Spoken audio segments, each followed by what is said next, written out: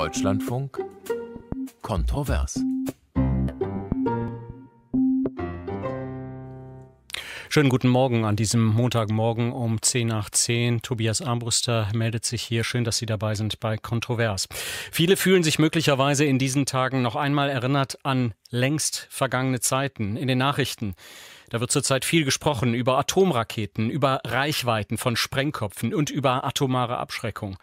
Es ist der Streit um Nordkorea und sein Atomprogramm. Nordkoreas Raketen, die inzwischen auch die USA erreichen können. Es ist auch deshalb ein Konflikt, der vor allem ausgetragen wird zwischen Nordkorea und den USA und vor allem zwischen zwei Männern, Kim Jong-un, dem Machthaber in Pyongyang, und Donald Trump, dem US-Präsidenten.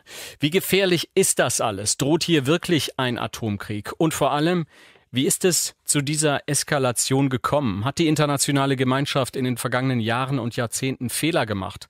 Oder hat es die Welt hier einfach mit einem unberechenbaren Machthaber zu tun?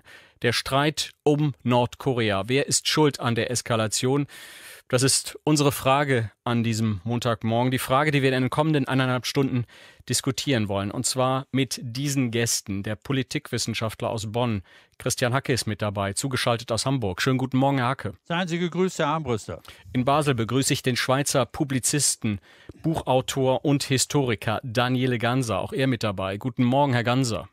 Ich grüße Sie, Herr Armbruster.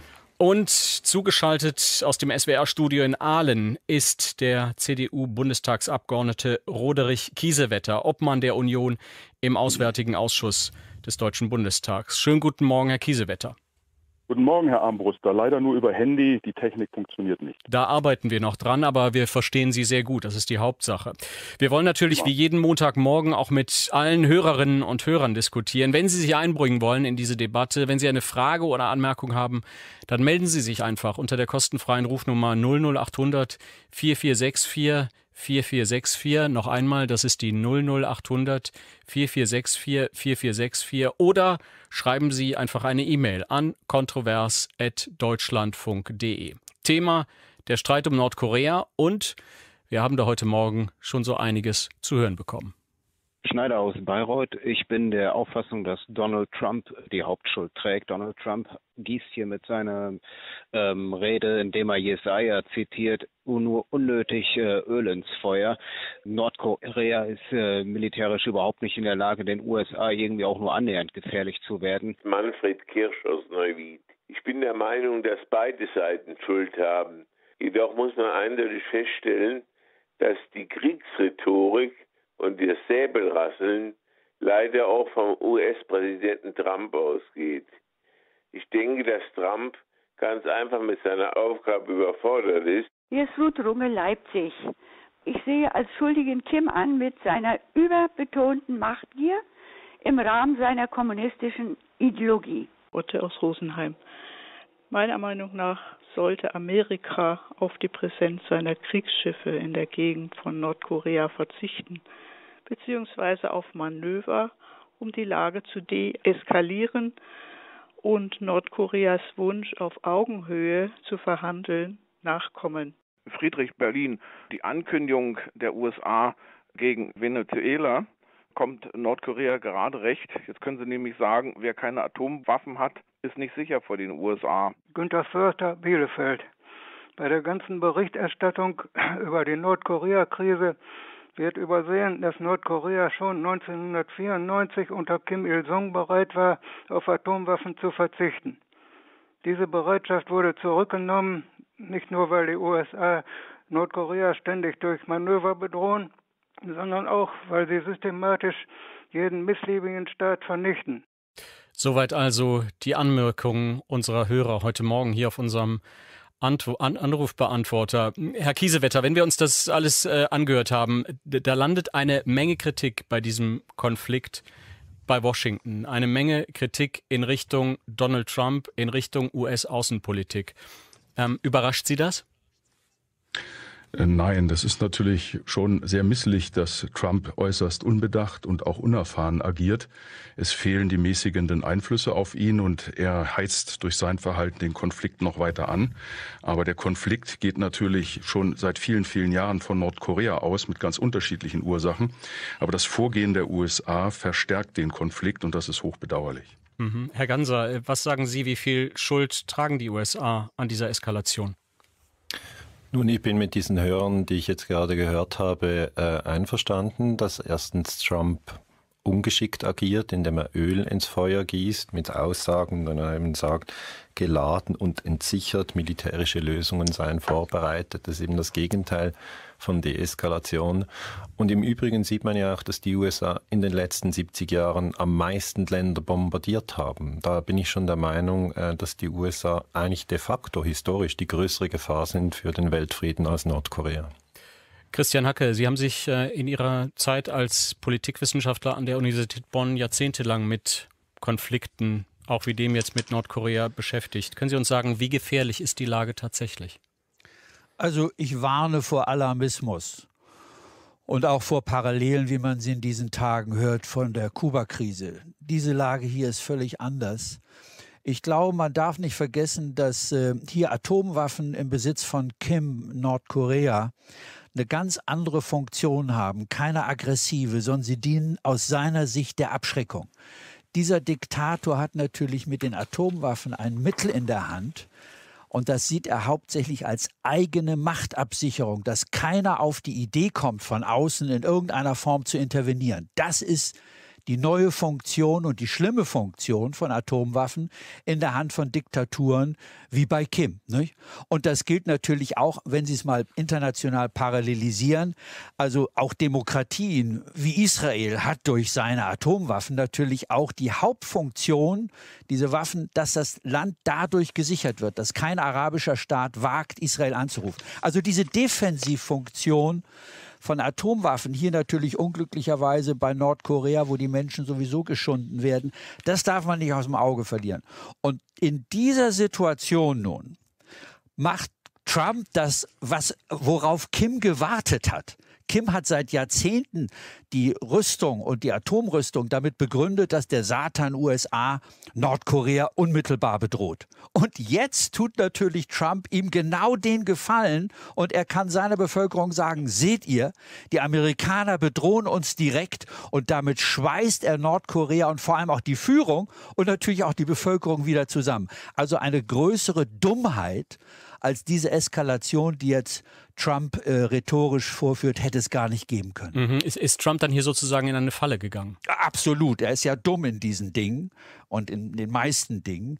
Und äh, da liegt natürlich, ich sage also, ich warne vor Alarmismus, aber es gibt natürlich genügend Grund zur Sorge. Sie sagten vorhin netterweise, es gibt hier einen unberechenbaren Machthaber in diesem Konflikt. Wir haben zwei. Und ich glaube, wer doch fast berechenbarer ist, ist Kim, nicht? Mhm. Herr Kiesewetter, würden Sie da zustimmen? Sind das tatsächlich ähm, zwei Männer, die man sozusagen mit gleichem Maß messen kann? Also ich möchte das schon unterscheiden. Äh, Kim muss sich absichern, weil er sowohl gegenüber China Einflüsse verhindern will, also von China aus. Außerdem äh, sieht er die Gefahr, dass Südkorea weiterhin ein attraktives Gesellschaftsmodell ist und er versucht durch Projektion nach außen Macht zu zeigen. Die USA haben sich provozieren lassen und es ist in einer äußerst misslichen Lage, wo wir eine Neuorientierung in der Weltpolitik haben und der für uns im Westen wesentliche Stützpfeiler unberechenbar wird. Und hier kommt es ganz arg darauf an, dass wir besonnen reagieren und dass wir die Rolle der Vereinten Nationen stärken und die mäßigenden Kräfte in den USA wie Tillerson, aber auch den Kongress. Das ist, glaube ich, die wesentliche Diplomatie, die jetzt gefragt ist. Mhm. Und wenn Sie sich diese Akteure angucken, vor allen Dingen den, den US-Außenminister Rex Tillerson, ähm, aber auch, wie Sie sagen, die Akteure im Kongress, haben Sie da Vertrauen, dass das funktionieren könnte oder sind wir da auch gerade in einer misslichen Lage? Also zunächst einmal haben wir gesehen, dass der Kongress versucht, Trump einzuhegen, was die Sanktionen gegen Russland angeht, indem er Trump aufgefordert hat, sich sehr eng mit Europa abzustimmen. Das öffnet uns neue Perspektiven. Und zweitens äh, funktioniert ja die Gewaltenteilung in den USA. Wir haben es gesehen, dass Gerichtsbeschlüsse bestimmte Vorhaben hinsichtlich der Ausweisung von Ausländern und so weiter aufgehoben haben. Trotzdem Trump lernt nicht daraus, sondern er provoziert immer weiter und spielt hier mit dem Feuer. Und entscheidend ist doch, dass wir jetzt die regionalen Kräfte wie China, Südkorea, Australien, Japan an einen Tisch bringen müssen natürlich auch die USA. Und die Frage ist, wer soll das tun? China antwortet sehr moderat und übernimmt eigentlich die Rolle, die wir von den Vereinigten Staaten erwarten. Das ist ein Paradigmenwechsel. Das haben wir jetzt auch schon in Aussagen beim Welthandel gesehen. Da ist die Rhetorik Chinas viel moderater als das tatsächliche Handeln. Und die USA werden sicherlich einiges tun müssen, um Trump einzuhegen. Ich glaube aber nicht, dass es bis zum Impeachment geht, sondern wir müssen uns jetzt auf einige Jahre mit dieser Unberechenbarkeit auseinandersetzen, mit allen Gefahren, die durch die Rhetorik für den Weltfrieden entstehen. Und ich sehe hier die Rolle der Vereinten Nationen. Herr Ganser, auch Sie beschäftigen sich ja in Ihren Büchern, in Ihren Vorträgen immer wieder mit ähm, Machtpolitik, vor allen Dingen mit äh, internationalen Konflikten. Können Sie uns erklären, warum handelt Kim Jong-un so, wie er handelt? Ich sehe es ähm, sehr ähnlich wie der Kollege Hacke, den ich persönlich nicht kenne. Guten Tag, Herr Hacke. Seien Sie gegrüßt. Äh, aber ich denke auch, es ist ein, ein Versuch, sich zu, zu, schützen. Das muss man schon auch verstehen, weil Kim natürlich beobachtet, äh, dass die USA zum Beispiel Saddam Hussein im Irak 2003 angegriffen haben ähm, und ihn erhängt haben. Sie haben gesehen, dass die USA zusammen mit Frankreich und Großbritannien 2011 äh, Libyen angegriffen haben. Äh, Gaddafi ist tot. Das heißt, es sind ja keine theoretischen Kämpfe in der internationalen Politik, sondern das sind reale Kämpfe.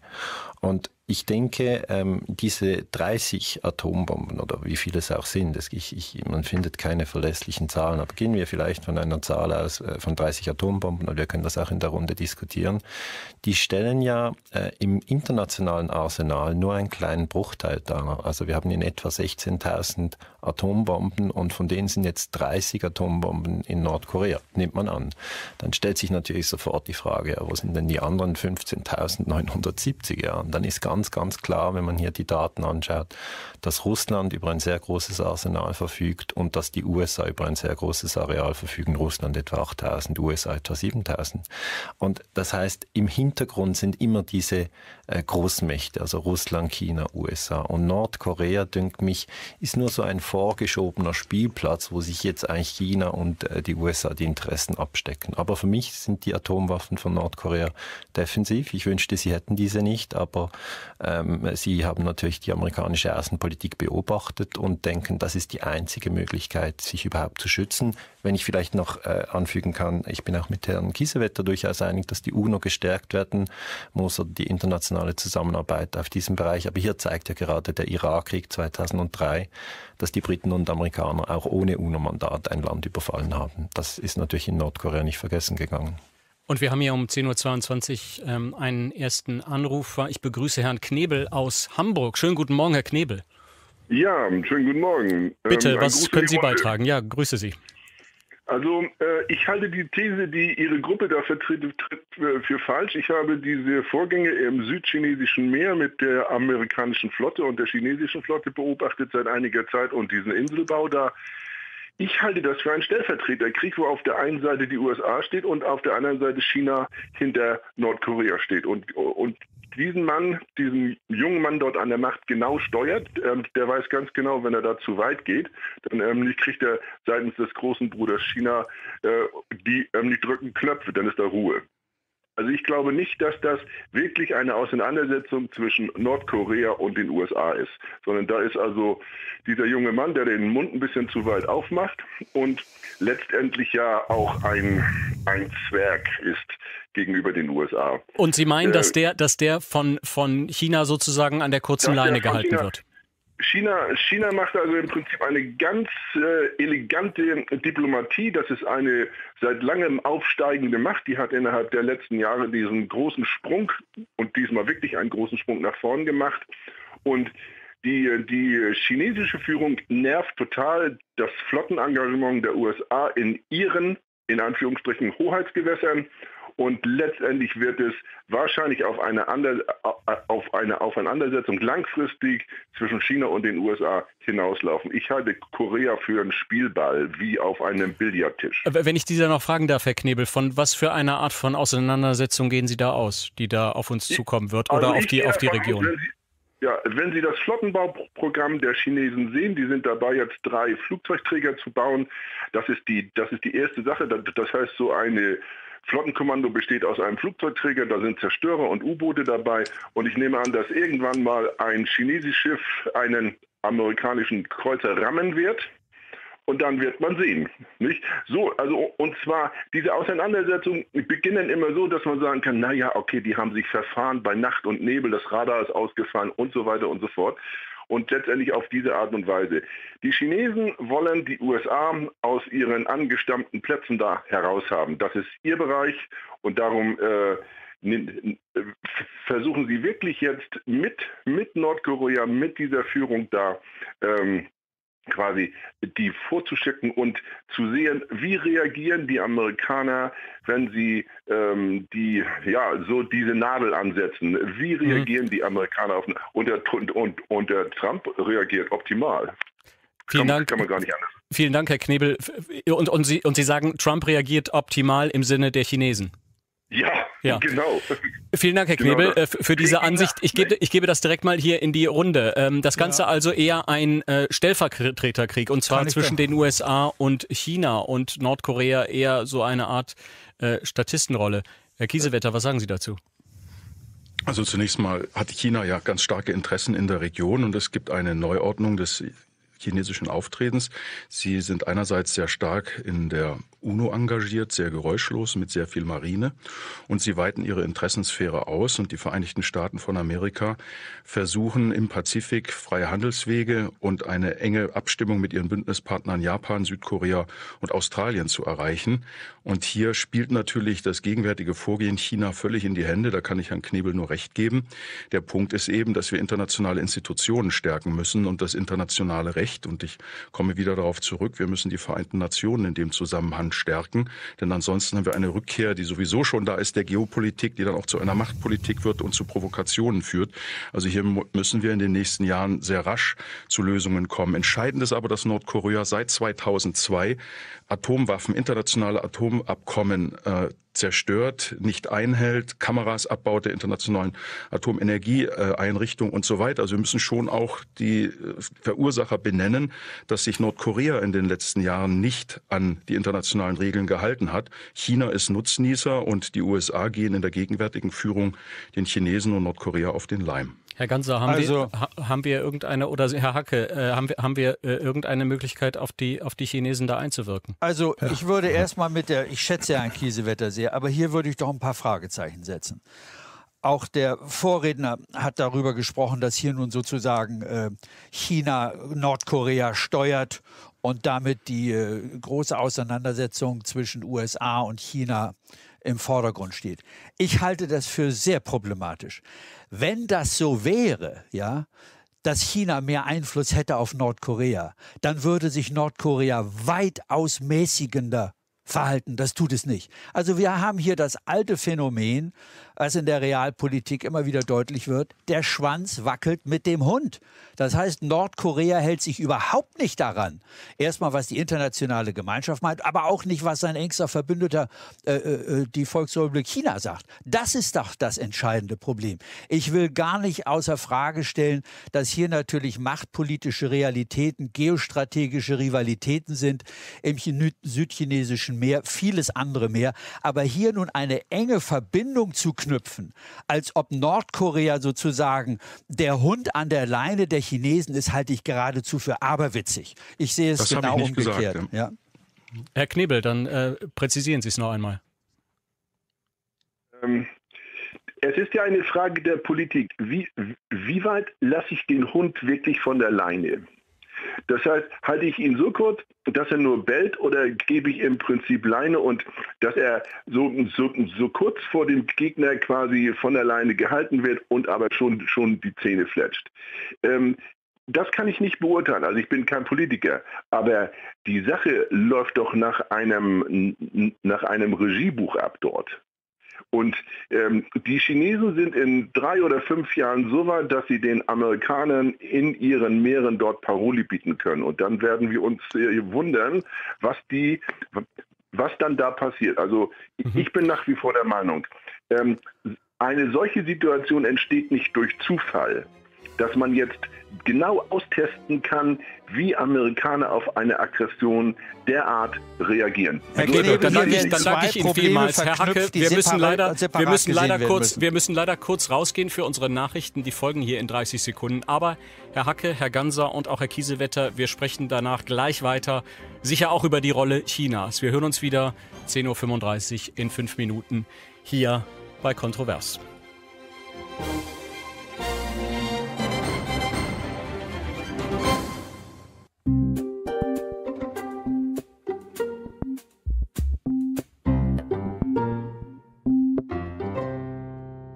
Der Streit um Nordkorea. Wer ist schuld an der Eskalation? Das ist das Thema heute Morgen hier in Kontrovers noch bis 11.30 Uhr. Und wir diskutieren mit Daniele Ganser, dem Publizisten und Historiker, mit dem Bonner Politikwissenschaftler Christian Hacke und Roderich Kiesewetter, der CDU-Außenpolitiker, ist mit dabei.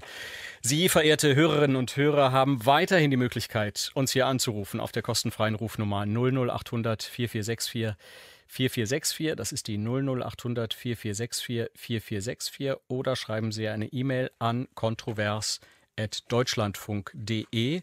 Und das hat unter anderem Gottfried Schmidt gemacht. Er hat sich über Facebook gemeldet. Die USA, schreibt er, haben bereits zwei Atombomben auf Asien geworfen. Nun drohen sie mit der dritten Bombe auf Asien. Diesmal auf Nordkorea. Es soll zerbombt werden und so weiter und so weiter. Eine unendliche Geschichte. Johannes Biedermann hat uns geschrieben. Der Westen hat geschlafen, meint er. Man hätte den Irren in Nordkorea nie so weit kommen lassen dürfen und hätte viel früher früher eingreifen müssen. Wir machen immer wieder den gleichen Fehler und versuchen mit Appeasement, also Vogel-Strauß-Politik, Probleme zu lösen. Der gleiche Fehler wird übrigens im Iran gemacht. Und die Geschichte hat oft genug gezeigt, dass Appeasement ins Verderben führt. Christoph Bartel meint, ich denke, jeder amerikanische Präsident braucht seinen Krieg, mit dem er in die Geschichte eingehen kann. Eine Mail von Ursula Kotjur hat uns erreicht. Wann wird die Europäische Union mit einer Stimme sprechen? Die Trumpsche Kriegstreiberei benennen, klar verurteilen und zurückweisen? Oder bleibt es bei den lauwarmen Mahnungen zur Zurückhaltung? Seine brutale Rhetorik führt zu immer weiter ansteigender Eskalation von Gewalt in den USA und weltweit. Wer stoppt ihn endlich? Und dann noch diese E-Mail von Evelyn Hensler. Es ist die Frage, wer die Kontrahenten in ihrem gefährlichen Imponiergehabe von den Bäumen holen kann, ohne dass sie aus Angst vor einem vermeintlichen Gesichtsverlust den Konflikt gar noch verschärfen. Ich hoffe hier auf die Diplomatie Chinas, das auch zugleich viel Gespür für eine Angst vor Gesichtsverlust hat. Soweit also die E-Mail von Evelyn Hensler. Und da sind wir beim Thema China. Da haben wir gerade vor den Nachrichten aufgehört. Ähm, Christian Hacke, wir hatten ähm, den Anrufer Herrn Knebel ähm, der auf die Rolle Chinas, auf die richtige Rolle Chinas hingewiesen ja. hat, sogar gesagt hat, es handelt sich hier eigentlich um einen Stellvertreterkrieg. Mhm. Nordkorea eigentlich viel weniger wichtig. Wir müssen uns viel stärker auf China konzentrieren. Mhm. Was halten Sie davon? Also ich finde es richtig, dass wir uns stärker auf China konzentrieren. Aber bei allem Respekt, ich sehe hier keine Anzeichen eines Stellvertreterkrieges, sondern umgekehrt meine These lautet, dass die Rolle der Chinesen hier eine mäßigende ist. Und ich wünschte, dass China in dem Sinne sehr viel mehr Einfluss auf Nordkorea hätte. Und es hat ja auch äh, dazu beigetragen, dass diese UNO-Resolution verabschiedet wurde, in der nun äh, äh, das nordkoreanische Verhalten äh, kritisiert wurde. Nein, das sehe ich nicht. Wir müssen hier klar sehen, es gibt diese Großmachtrivalität zwischen den USA und China. Und das kann sich innerhalb der nächsten Jahre und Jahrzehnte weiterentwickeln. Aber bisher zum Glück sind beide Länder auch noch miteinander so verflochten, äh, dass hier, äh, sagen wir mal, nicht nicht äh, Eindämmung im Vordergrund ist, sondern eine gewisse konfliktgeladene Zusammenarbeit in vielen Bereichen. Und das müsste auch so bleiben und vor allem mit Blick auf Nordkorea. Wir dürfen aber auch nicht vergessen, es gibt noch Südkorea. Ja? Und Südkorea ist genauso äh, erschrocken über die Rhetorik äh, von Trump, wie es natürlich seit Jahrzehnten jetzt äh, vom Norden die Rhetorik von Kim Il-sung, ähm, äh, oder Kim heißt jetzt ja, der, der Junge heißt ja anders, also gefürchtet hat und weiterhin fürchtet. Hier sehen wir eine andere Konfliktlinie, nämlich zwischen den USA und Südkorea. Die Südkoreaner wollen durch Diplomatie, durch Beschwichtigung im positiven Sinne äh, auf der Halbinsel die Dinge verbessern. Ähnlich, sagen wir mal, wie früher bei uns Entspannungspolitik. Und da haben wir eine Parallele zwischen Trump, Südkorea und Trump, äh, Europa, NATO. Nämlich er fuhrwerkt rum spricht blind davon, dass eben die Amerikaner allein die Lasten tragen, Südkorea eben auch mehr zahlen sollte an die USA, wie eben hier auch mit NATO. Also es gibt die inneren Konfliktlinien, die man auch nicht vergessen darf. Mhm. Jetzt haben Sie wieder Herrn Trump erwähnt. Äh, Daniele Ganser, ähm, ist das tatsächlich so, dass wir uns in diesem Konflikt, so wie er jetzt gerade läuft, ähm, Trump China, Trump Nordkorea, Trump Südkorea, äh, vor allen Dingen auf Trumps Persönlichkeit stützen müssen? Oder liegt da vielmehr ein Fehler, äh, der viel weiter zurückreicht als die Präsidentschaft von Donald Trump, der möglicherweise in der ähm, US-Außenpolitik ähm, belegt ist? Also meiner Meinung nach äh, treibt Trump einfach die Sache auf, der, auf die Spitze, sodass man das wirklich sieht, offensichtlich sieht. Aber eigentlich, wenn man die letzten 70 Jahre anschaut und sich mit dem US-Imperialismus beschäftigt, dann sieht man natürlich, dass es überhaupt äh, jetzt nicht nur mit Trump begonnen hat, sondern wenn wir Obama nehmen und uns fragen, wie viele Länder hat dann Obama 2016 bombardiert, dann ist die Antwort, er hat sieben Länder bombardiert. Wenn man sich jetzt fragt, ob man diese Länder aufzählen kann, die meisten Menschen können sie nicht aufzählen, aber er hat Pakistan bombardiert, er hat Afghanistan bombardiert, er hat Syrien bombardiert, hat den Irak bombardiert, hat Jemen bombardiert, er hat Somalien bombardiert und er hat Libyen bombardiert. Und das sehen natürlich die anderen Länder, ja. Die wissen, die USA USA sind das mächtigste Land der Welt. Sie haben zehn Flugzeugträger. Äh, die Chinesen, das wurde von einem Hörer gesagt, bauen jetzt Flugzeugträger, aber sie haben vielleicht einen einsatzfähigen, wollen vielleicht dann drei haben etc. Aber die USA sind das Imperium unserer Zeit und sie gehen rücksichtslos vor. Das heißt, sie nehmen einfach ihre Interessen wahr. Und wir haben über den Einfluss von China auf Nordkorea gesprochen und den können wir spiegeln mit dem Einfluss der USA auf Südkorea. Und äh, da bin ich eigentlich der Meinung, dass sowohl China Nordkorea nicht direkt zu 100 Prozent steuern kann und die USA können Südkorea nicht direkt und zu 100 Prozent steuern, sondern das sind bis zu einem Grad kleinere Länder, also kleinere Länder eben wie die Schweiz. Ich bin ja hier in der Schweiz. Und die kleineren Länder haben schon auch einen eigenen Willen. Und die kleineren Länder erinnern sich auch an ihre Geschichte. Und wenn man ein bisschen die nordkoreanische Beschwerdenliste anschaut, ja, gegen die USA, man sagt, das sind alles Idioten, aber wenn man genau hinschaut und sagt, okay, was sind denn eure äh, Grievances, also eure Sorgen, dann sagen die Nordkoreaner, die USA haben in den 50er Jahren biologische Waffen gegen uns eingesetzt. Die haben Insekten abgeworfen, vergiftete Insekten, die haben äh, Krankheiten ausgelöst. Die Amerikaner haben das immer, immer abgestritten, haben ja nie gemacht etc. und ist nicht wahr. Und äh, natürlich ist in Asien auch in Erinnerung, dass die Amerikaner äh, auf Japan zwei Atombomben abgeworfen haben, Little Boy und Fat Man. Das heißt, wenn man aus asiatischer Perspektive blickt, kann man diese Angst vor den USA durchaus verstehen. Mhm. Herr Kiesewetter, was sagen Sie dazu? Also mir ist das ein bisschen arg verschwörungstheoretisch gegen die USA und es bringt auch nichts, das jetzt mit Russland aufzurechnen und Georgien, Estland, Ukraine, Krim, die Unterstützung Haftars oder auch die Bombardierungen in Syrien anzusprechen. Viel wichtiger ist es doch, dass wir überlegen, wie wir den Weltfrieden bewahren können. Ich glaube, dass hier auch durch die Medien zum Teil ein gewisser Alarmismus entstanden ist. Da bin ich ganz bei Professor Hacke. Nicht Alarmismus in Richtung, äh, dass das überzeichnet wird, was gezeigt wird, sondern wir müssen die Dinge einordnen. Nordkorea hat insgesamt sechs Atomtests durchgeführt. Davon unter dem neuen Führer Kim Jong-un seit 2011 drei Stück oder fünf Atomtests und drei seitdem er an der Macht ist. Und das in einer zunehmenden Frequenz. Und Nordkorea hat internationale Abkommen gebrochen. Äh, Ziel müsste sein, ein vergleichbares Abkommen mit Nordkorea zu erreichen, wie wir es mit dem Iran haben. Gleichwohl der Iran heute auch nah an der nuklearen Bewaffnung ist und jetzt erst mal 10, 12 Jahre Zeit gewonnen hat. Aber wir müssen doch versuchen, die, die Dinge zu verrechtlichen. Und das Schwierige ist im Moment, und dazu müssen wir als Europäer, das teile ich, mit einer Stimme sprechen, hinsichtlich der USA, dass die USA all das, was sie in den letzten Jahren auch dank Obama aufgebaut haben an internationalen diplomatischer Aufgeschlossenheit, dass sie das innerhalb weniger Monate, seit Trump an der Spitze ist, verspielen, zu verspielen drohen und schon verspielt haben. Mhm. Und das ist eigentlich ein Weckruf an uns Europäer, denn uns muss auch daran gelegen sein, dass die Handelswege zwischen Südkorea und Japan, dass die nicht durch nukleare Raketen etc. bedroht sind. Das ja. heißt, wir brauchen ein internationales Regime in dieser Richtung, gestärkt durch die Vereinten Nationen. Herr Kiesewetter, und wenn wir da mal einen Schritt zurücktreten, müssen wir nicht einfach festhalten, ähm, für viele Länder auf dieser Welt ist eine Atomwaffe zurzeit die einzige Versicherung, dass sie nicht von den USA angegriffen werden oder bedroht werden.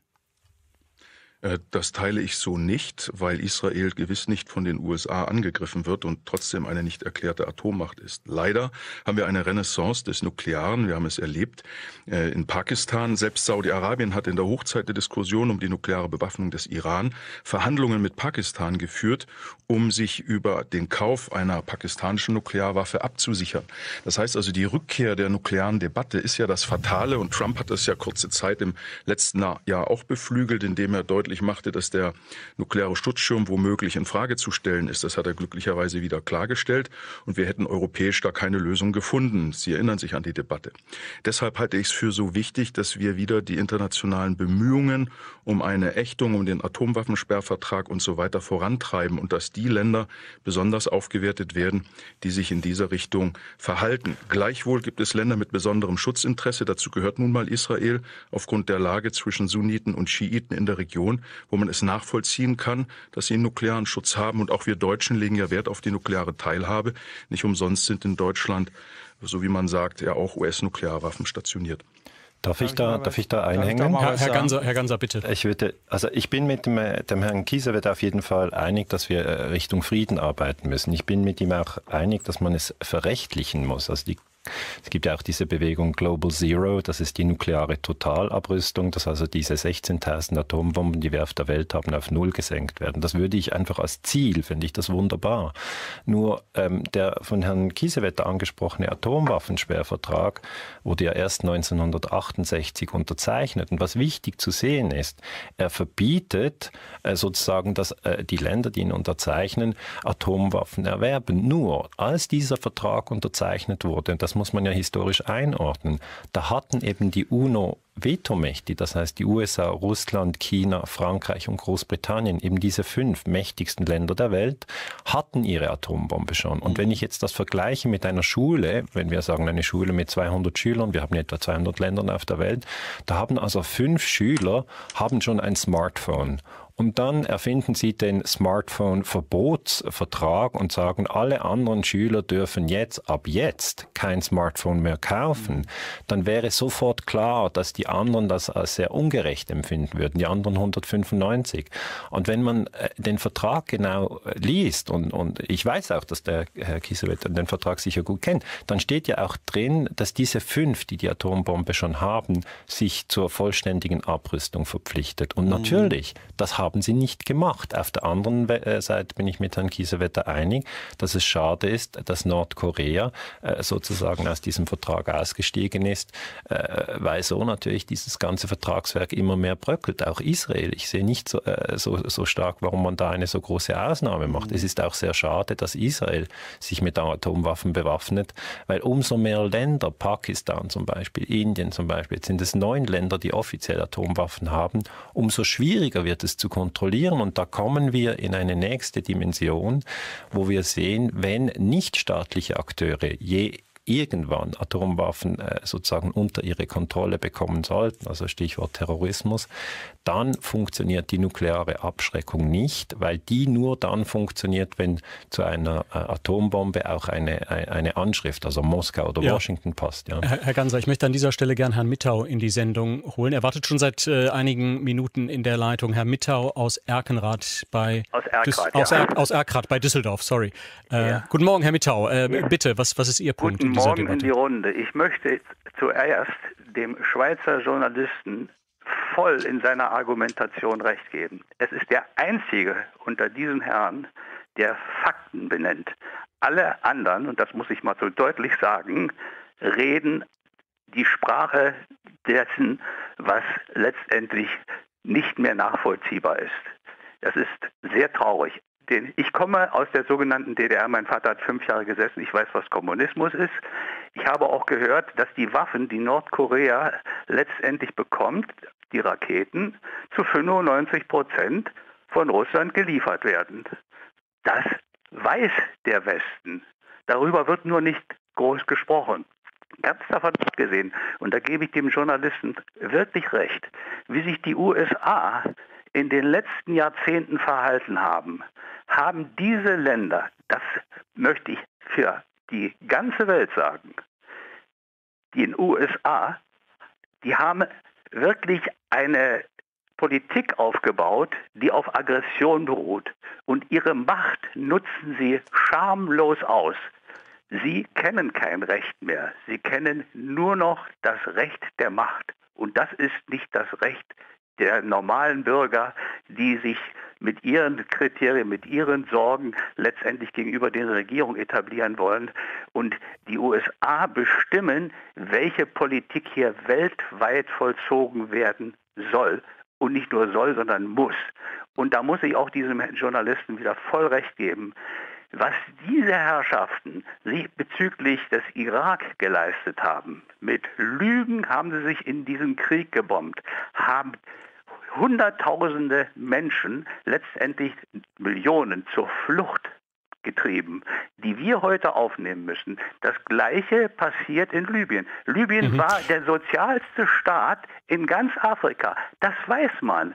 Herr Mittau, ja. ich glaube, ich glaube, wir haben, wir haben Ihren Punkt verstanden. Das ist eine deutliche Kritik an den USA. Ich gebe das mal weiter an äh, Herrn Hacke, den Politikwissenschaftler. Ist, ist, das, ist das korrekt so, Herr Hacke, oder ist das ein Schritt zu weit? Also wissen Sie, es geht hier nie um richtig oder falsch, sondern es sind Einschätzungen. Und es wäre an, an, anmaßend, wenn ich jetzt sagen würde, er hat in allem Unrecht. Das Entscheidende ist, glaube ich, dass wir seit den vergangenen, äh, also eigentlich seit 9-11 natürlich, eine Entwicklung in der westlichen Politik äh, der sogenannten humanitären Interventionen finden, wo wir meinen, dass wir überall das Glück der Demokratie verteilen müssen.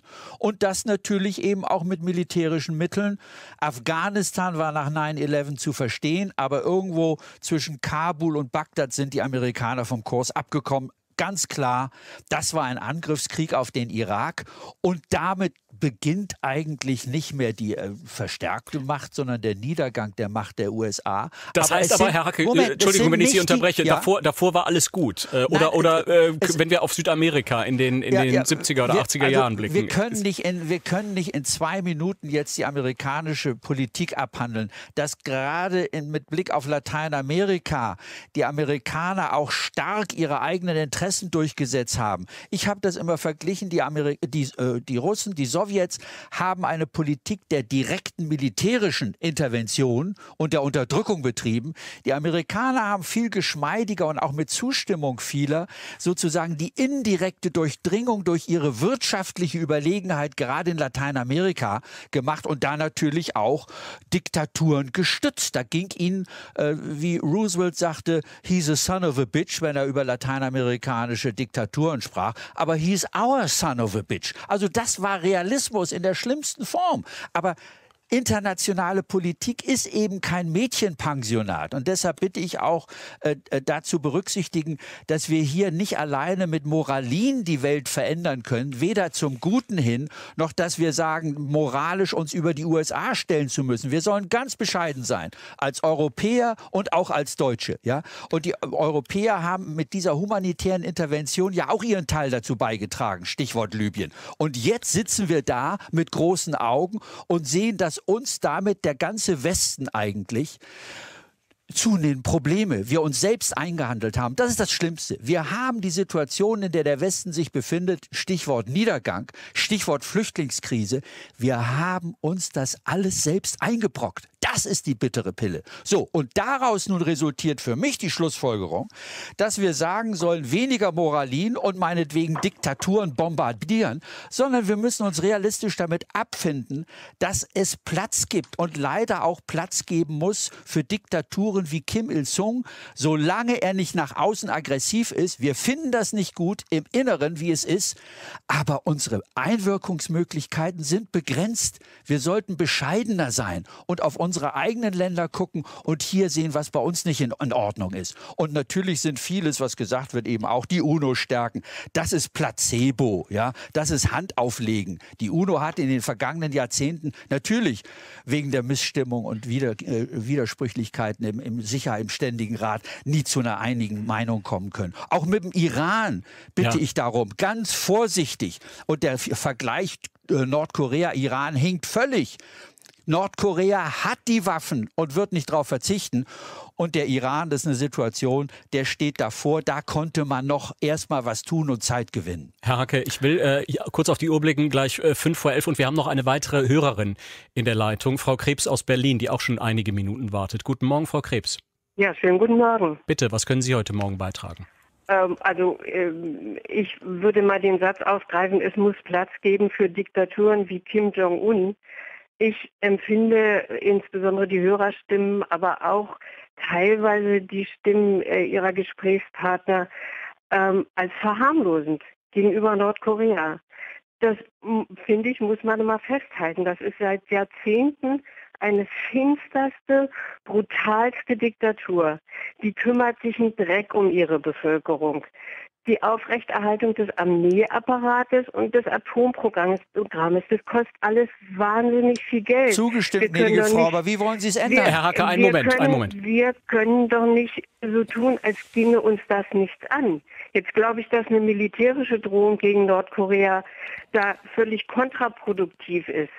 Aber ich möchte gern festhalten, dass ich nicht finde, dass man das nordkoreanische äh, System und die USA auf eine Stufe stellen kann. Also bei allem, was hier historisch beschrieben wird, bei allem, wie die USA, wenn sie so wollen, äh, außenpolitisch Fehler gemacht hat, höre ich in dieser Sendung, insbesondere in den Hörerstimmen, eine Art von Anti-Amerikanismus, wo ich alle Kritik äh, an Präsident Trump berechtigt finde, der weit übers Ziel hinausschießt.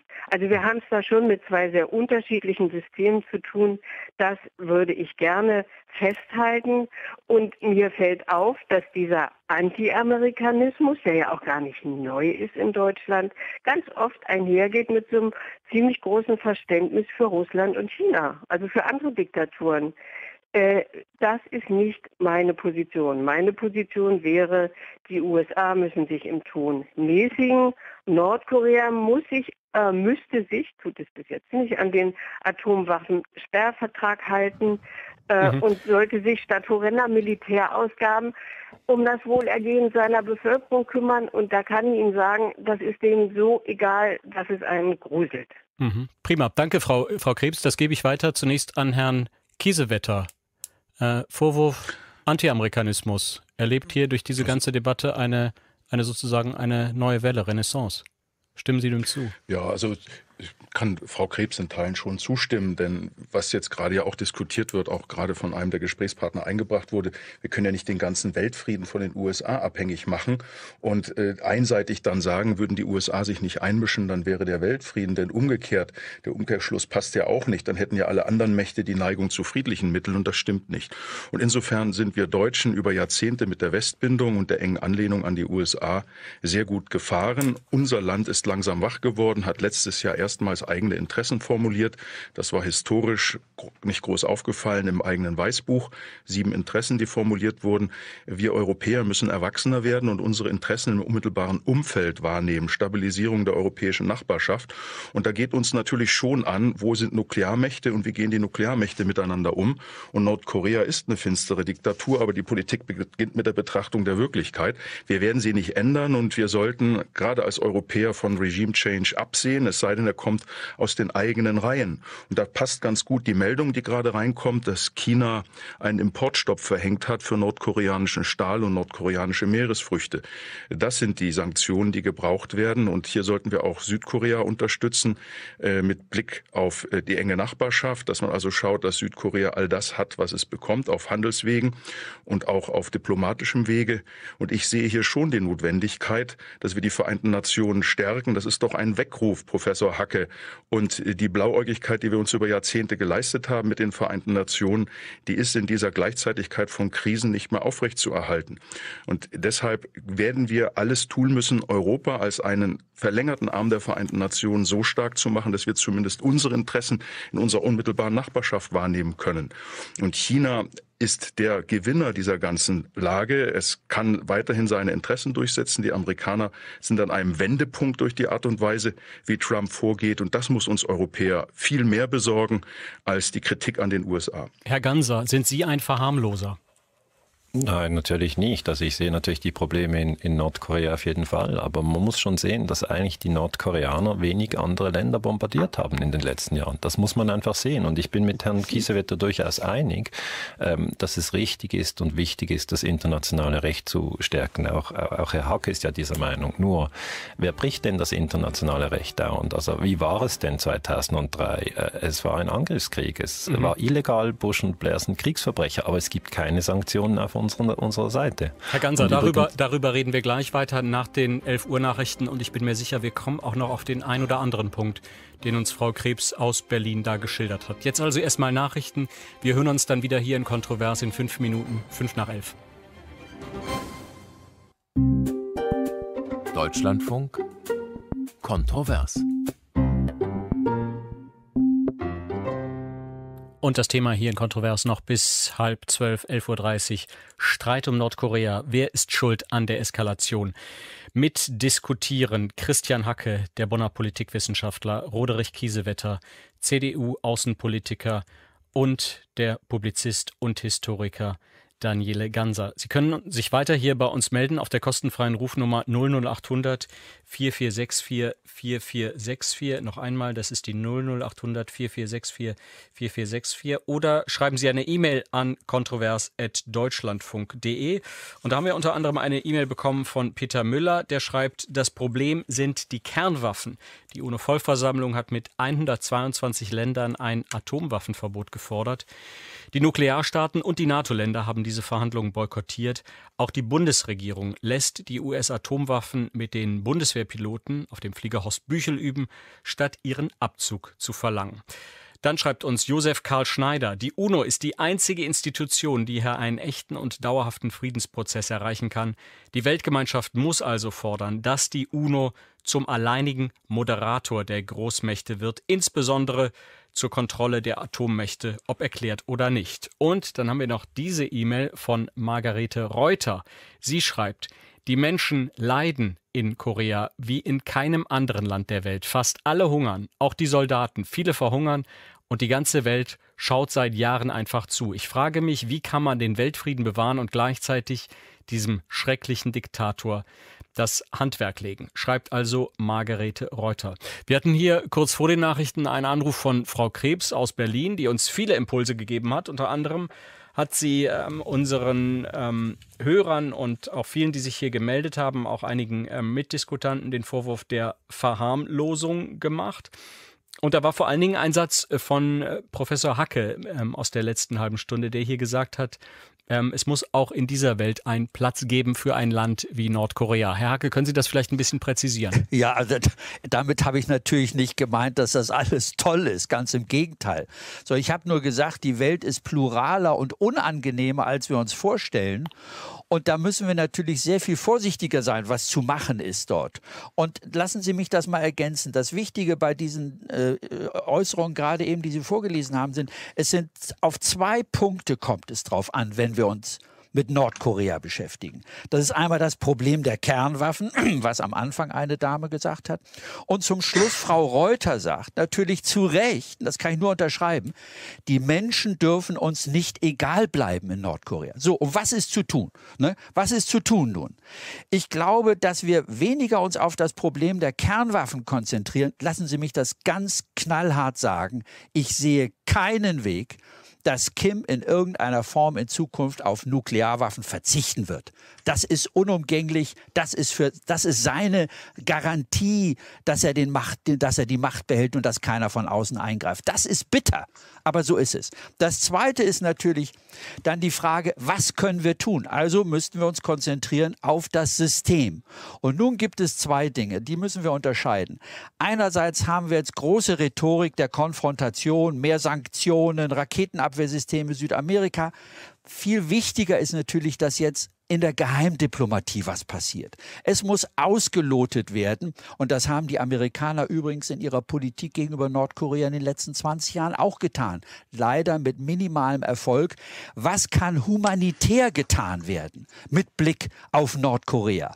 Und das ist natürlich enorm schwierig. Und da muss man in einen Prozess kommen der Geheimdiplomatie, dass man Kim sagt, also man kann ihm nicht mehr die Atomwaffen abluchsen, aber man kann ihm sagen, Hören Sie, es gibt diese und diese Möglichkeiten, wenn Sie das Land hier und dort den Griff lockern oder wenn Sie die Möglichkeiten erhöhen für äh, in teilweise, wie das gemacht wird, in Sonderzonen Wirtschaft oder erlauben humanitäre Hilfe und das kontrolliert werden könnte, dass nicht nur die Besitzenden das kriegen. Das ist ein komplizierter Prozess. Ich sage nur, die Menschen, Frau Reuter, die dürfen uns nicht egal bleiben. Das ist völlig richtig.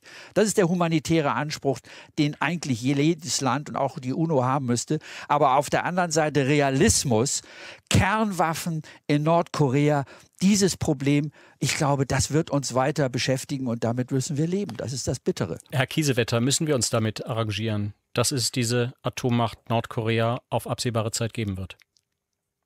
Eindeutig. Das ganze Streben Nordkoreas seit den 80er Jahren ging ja darauf hin, dies zu leisten. Und durch das Ende des Kalten Krieges hatten sie Gelegenheit, sich viele Wissenschaftler, insbesondere aus der früheren Sowjetunion, ins Land zu holen.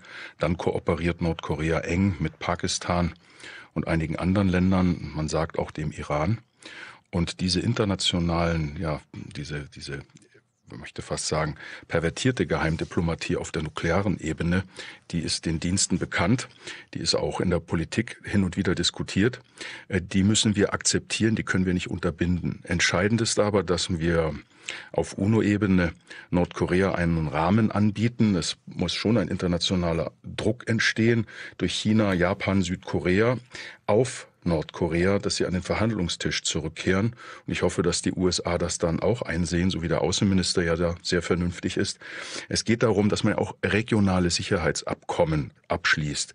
Denn das bedeutet, dass Nordkorea eine Art Sicherheitsgarantie braucht, um dann auch Mittel frei zu haben, vielleicht auch für humanitäre Hilfe, die von außen kommt, die dann zu einer Verbesserung der Lebenssituation im eigenen Land ist. Die größte Sorge ist doch, dass das Familienregime äh, scheitert von äh, Kim Jong-un und dass dann neue Machthaber kommen, also dass es zu einem Regimewechsel kommt. Auf der anderen Seite sollten wir nicht verkennen, dass das koreanische Volk im Norden und Süden an Einheit interessiert ist und dass wir den Dialog wieder aufnehmen müssen mit den getrennten Familien, dass sie sich wieder treffen können. Das ist ja alles vor einigen Jahren eingestellt worden, nachdem es doch Ende, ja, zu Beginn des letzten Jahrzehnts eine ganze Reihe Lichtblicke gab. Also hier geht es wirklich auch darum, den Familien wieder Perspektiven zu schaffen und dem äh, nordkoreanischen Machthaber eine gewisse Grundsicherheit zu geben, dass er diese Rhetorik und die weiteren Anstrengungen einstellt. Das ist allerdings ein sehr langwieriger Prozess und dazu braucht es regionale Sicherheitsgarantien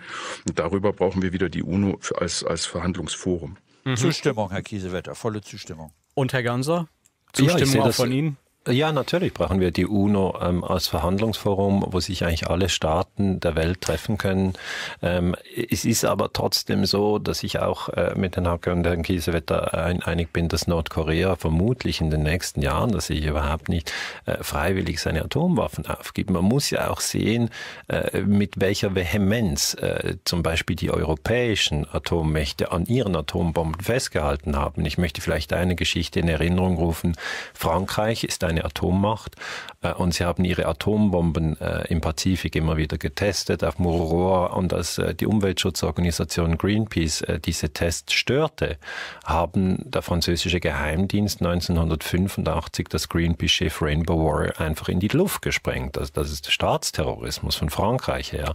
Und das muss man einfach mal einordnen. Wie weit geht denn ein Land, um unbedingt an seinen Atomwaffen und an seinen Atomtests festzuhalten? Da sieht man, man geht sehr, sehr weit. Und, und aber Herr, Herr Ganser, verzeihen Sie, wenn ich Sie, wenn ich Sie kurz unterbreche, aber ist das nicht äh, längst vergangene Zeit? War das nicht das Verhalten des Kalten Krieges? Haben wir das, Nein, haben wir das äh, hinter uns gelassen? Leider nicht, weil die Idee des Atomwaffensperrvertrages, der ja auch von Herrn Kiesewetter äh, dankenswert erwähnt wurde, bedeutet, dass kein neues Land dazukommt und dass die bestehenden, die schon Atomwaffen haben, abrüsten. Ja, wenn diese zwei Dinge funktionieren würden, also keines kommt neu dazu und die bestehenden senken ihr Arsenal, dann hätten wir dieses Ziel Global Zero, also die nukleare Totalabrüstung, die wir ja wirklich alle anstreben, äh, dann könnten wir das erreichen. Aber ich habe mit diesem Beispiel Frankreich Frankreich und Greenpeace Warrior Schiff gesprengt, nur darauf hinweisen wollen, dass eben diejenigen, die die Bombe haben, ganz beharrlich daran festhalten. Sie senken zwar zum Teil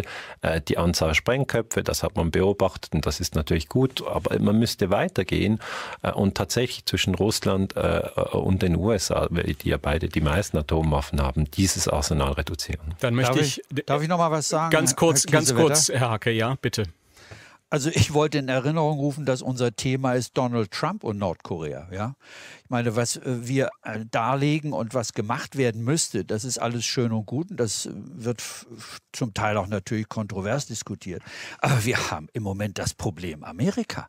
Wir haben das Problem so der Führung und ja. all diese Dinge, die wir jetzt erörtern, habe ich das Gefühl, der Mann ist äh, äh, immun dagegen. Und wir wissen nicht, was er heute sagte oder gestern sagte er, äh, Kim is a smart cookie oder würde sich gerne sogar mit ihm treffen. Erinnern Sie sich vor einigen Wochen. Jetzt haben wir den, den, seit einer Woche den, äh, ein, eine, eine Eskalation der Konfrontation von ihm gegenüber Kim. Wir wissen gar nicht, was, was er jetzt in, de, in der nächsten Zeit plant. Das ist mein Unsicherheitsfaktor. Wir haben keine Ahnung, wie meinetwegen Verteidigungsminister Mattis, die Leute um ihn rum, ähm, der ein ziemlicher Hauding ist, das muss man schon mal sagen. Dann haben wir den NSC-Chef McMaster, der ein brillanter äh, äh, Militärstratege ist. Dann haben wir einen Chef des Weißen Hauses, Kelly, äh, der, wenn man ihn mal erlebt hat, wo ich mich frage, äh, ob er dafür geeignet ist, Chief of Staff, weil er äh, diese Dinge oder was er bisher getan hat und auch wie er sich geäußert hat, mir eher ein, höflich gesagt, ein weißes Blatt Papier ist. Naja, ist und dann haben wir einen Außenminister gemacht, ja. Tillerson, von dem ich mich frage, was hat er überhaupt für einen Einfluss? Also ich sage nochmal, wollen wir nochmal auf den letzten äh, Moment nochmal daran denken, wie ist die Einschätzung von uns mit Blick auf Washington? Und das macht mir große Sorge. Nicht? Und wenn Sie jetzt noch die jüngsten Ereignisse haben, jetzt in Charlottesville, dann kann ich nur sagen, die höflichste Umschreibung ist,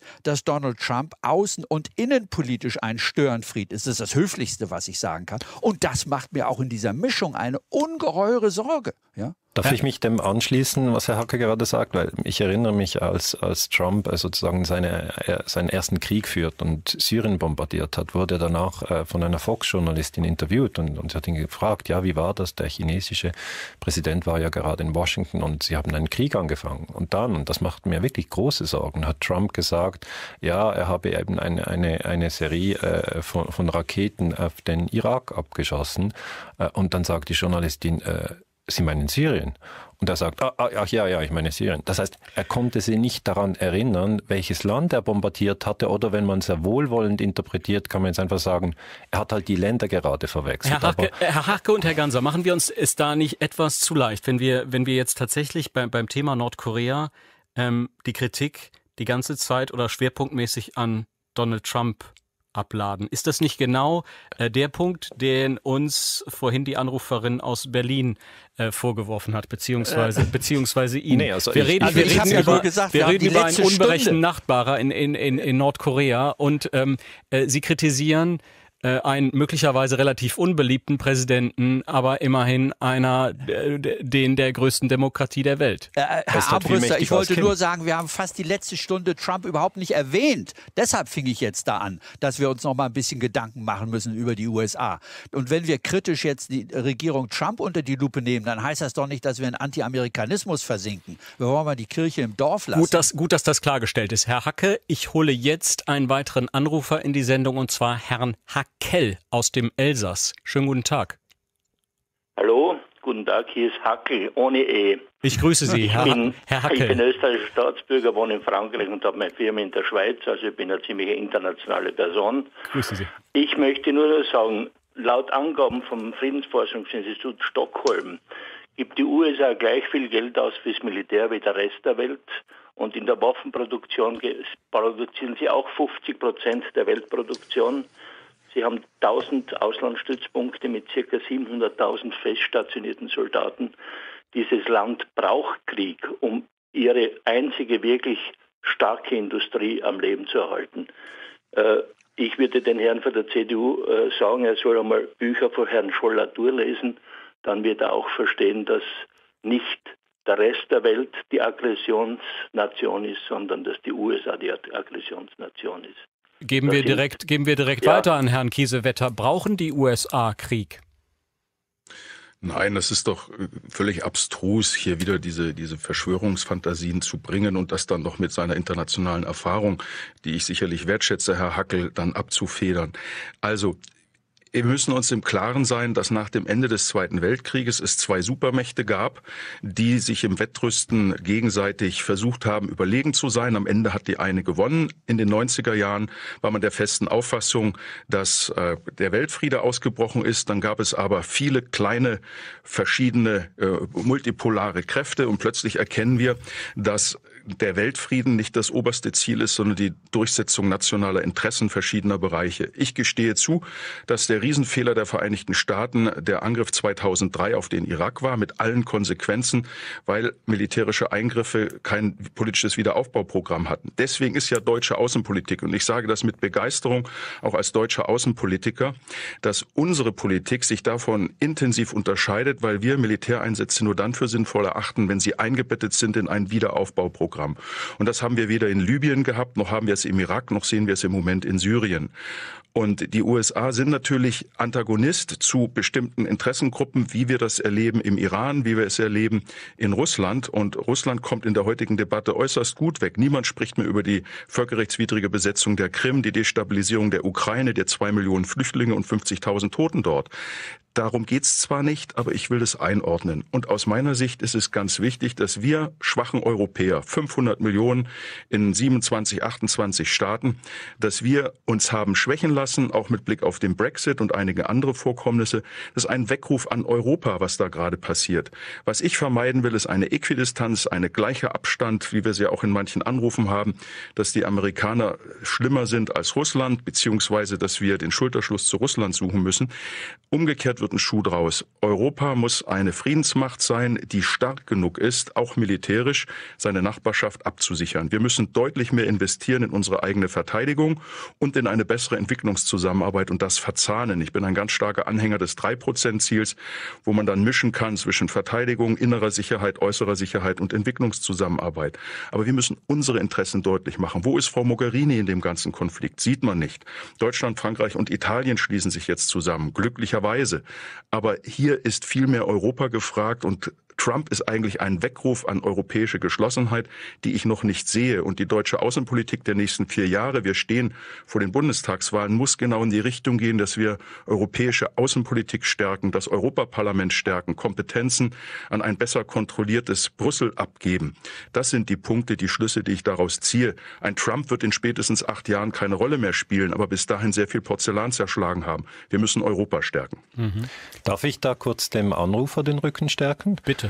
Ähm, der Anrufer hat ja gesagt, dass die USA ähm, sehr große Rüstungsausgaben haben und alle Zahlen, also das ist un unbestritten. Der Anrufer hat völlig recht. Die USA haben Militärausgaben von etwa 600 Milliarden Dollar pro Jahr äh, und das sind größer als die Militärausgaben der nächsten 10 oder 15 folgenden Länder zusammen.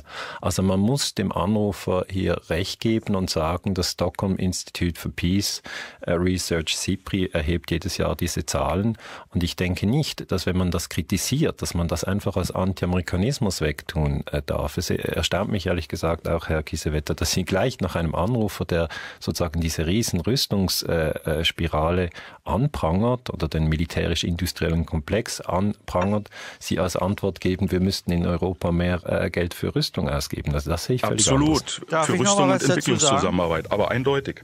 Bitte, Herr, Herr Kiesewetter, können Sie das nochmal, ich glaube, es ist etwas untergegangen. Ja, also aus meiner Sicht ist ganz entscheidend, dass wir Europäer eine besser abgestimmte Außenpolitik machen, was die Stabilisierung unseres Umfeldes angeht. Nördliches Afrika, nahe Mittlerer Osten, Ukraine. Minsk ist ja ein erster Anfang mit dem Normandie-Format, wo die Europäer versuchen, unabhängig von den USA eine Lösung mit Russland auf der Krim hinzubekommen. Des Weiteren müssen wir mit Blick auf das nördliche Afrika Migrationspartnerschaften hinbekommen, Einwanderungsregelungsgesetze schaffen und die Entwicklungszusammenarbeit besser verzahnen mit Militärausgaben, die nur der Absicherung dienen, der Grenzsicherung dienen, aber nicht der Intervention Intervention. Darf ich mal Und was hier dazu- wird eine ganz andere Kontur europäischer Außenpolitik sichtbar, die wir, die wir als Position entwickeln müssen, weil wir ansonsten in einer völlig unberechenbaren Welt weiter dann äh, Spielball werden von USA und anderen Mächten. Herr Hacke, Herr Hacke? Herr Hacke zunächst, zunächst bitte Herr Hacke. Ja, also Herr Kiesewetter, ich bin ja mit vieler Sympathie immer dabei, wenn Sie, wenn Sie sich in diesen Dingen äußern. Aber ich muss sagen, bisschen blauäugig, bisschen selbstgefällig ist es mir schon. Ne? Also mit den Rüstungsausgaben. Es ist realistisch, mein Nein, Lieber. nein, nein. Also äh, Realismus wäre zum Beispiel zu sagen, und das war die Frage von Herrn Hackel, als er sagt, ob die Amerikaner Kriegs, äh, Kriege anfangen oder Kriegstreiber sind. Das würde ich natürlich nicht sagen. Aber ich erinnere an das Wort eines äh, amerikanischen Präsidenten, Präsident Eisenhower, der vom Military Industrial Complex in den Vereinigten Staaten gesprochen hat und, Und davor gewarnt hat. 1960. Ja, und ich darf nur sagen, dass die Rüstungsindustrie einer der Kernantreiber amerikanischer Industriepolitik ist, in allen Bereichen.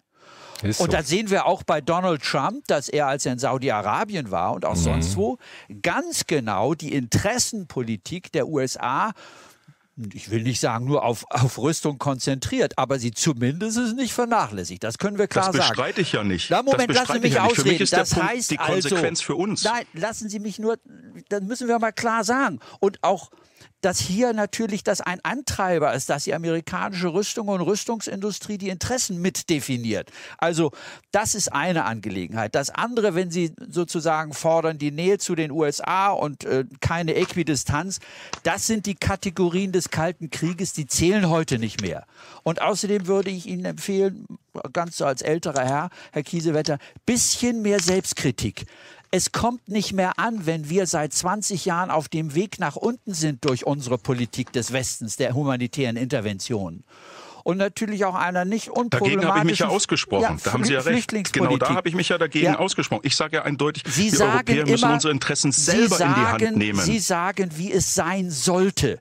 Dazu So gehört es. auch ehrlicherweise eine Bestandsaufnahme der Realität und die für uns nicht gut aussieht. Nicht nur Amerika, auch für Westeuropa. Und dann sollten wir ein bisschen selbstkritischer sein und sehen, dass andere Mächte, die uns weltanschaulich natürlich nicht nahestehen wie China oder Russland, dass wir ein bisschen bescheidener sehen sollen, dass wir auch ihre Interessen, ihre Sicherheitsinteressen Herr Hacke. nüchtern sehen sollten. Hacke, ja? Herr Kiesewetter- Und da gibt Da es erst recht. die Kooperation, Das- da dann einig. gibt es erst die Möglichkeit. Meine Herren, ich gucke, ich gucke auf die Uhr, 11.26 Uhr und wir haben noch Herrn Pleier in der Leitung aus Berlin, den ich gerne noch zu Wort kommen lassen möchte. Herr Pleier, guten Morgen.